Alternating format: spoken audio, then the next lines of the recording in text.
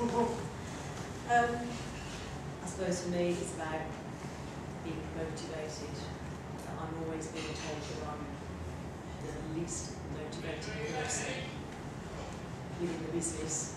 But when I'm with children, I'm the most motivated person. I suppose I need to turn that around. I suppose, yeah, become motivated with the business and, and express that.